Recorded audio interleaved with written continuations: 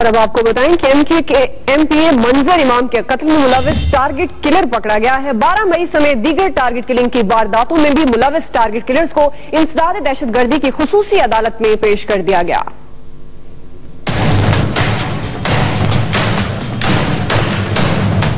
तर्जुमान ranger Sindh ने बताया 17 जनवरी 2013 को एमक्यूएम के रुकन सूबाई असम्बली मंजर इमाम और उनके गार्ड को कत्ल कर दिया गया था।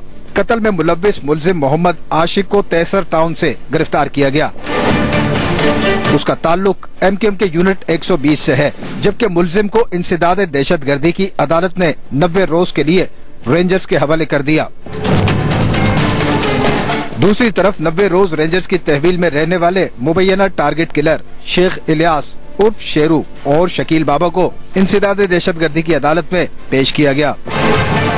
तर्जुमान रेंजर्स ने बताया, मुलजिम शकील बाबा की जे आई टी रिपोर्ट तैयार हो गई, जिसके मुताबिक मुलजिम ने छियालीस अफराद के कत्ल का एतराफ कर लिया। मुलजिम शकील बाबा का ताल्लुक एम के एम के यूनिट एक सौ तिहत्तर ऐसी है, जबकि मुलजिम शेख इलियास उर्फ़ शेरू का ताल्लुक एम के एम के लियारी यूनिट बत्तीस से है। वो दो रेंजर्स एहलकारों समेत डीएसपी नवाज़ रांझा के कत्ल में मुलविस है। अदालत ने दोनों मुबैना टारगेट किलर्स को चौदह रोजा जिस्मानी रिमांड आरोप पुलिस के हवाले कर दिया।